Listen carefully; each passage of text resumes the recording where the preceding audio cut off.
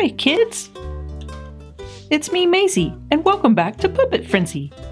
Today we have three awesome surprise eggs yellow, purple, and pink.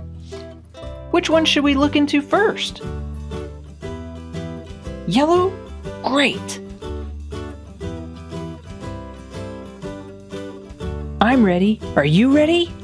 Okay. Awesome! A kangaroo! Kangaroos have powerful hind legs, a long, strong tail, and large feet.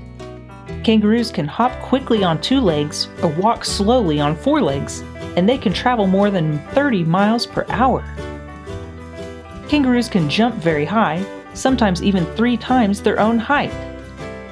Baby kangaroos are called joeys. Those kangaroos look so cool. I'd love to meet one. Well, which color's next? Purple? Yes!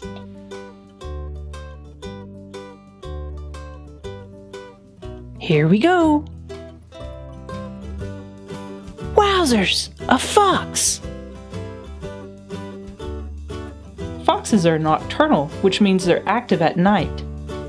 They have amazing hearing and use over 20 different calls to communicate.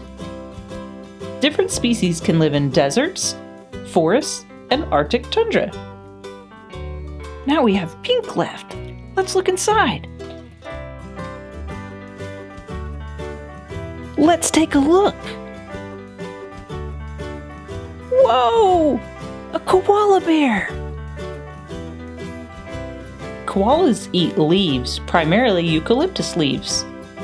Even though they are called koala bears, they're actually not bears, they are marsupials, like kangaroos. The mom carries her babies in her pouch. Koalas get most of their water from leaves, so they are rarely drinking water. Koalas can sleep up to 18 hours a day. Wow, that's long. Today we found a kangaroo, a fox, and a koala bear. Do you know which continent all three of these animals can live on? Wow! You are so smart! All three can live on Australia. Tell me which continent is your favorite in the comments below. And come back and see me real soon. Bye!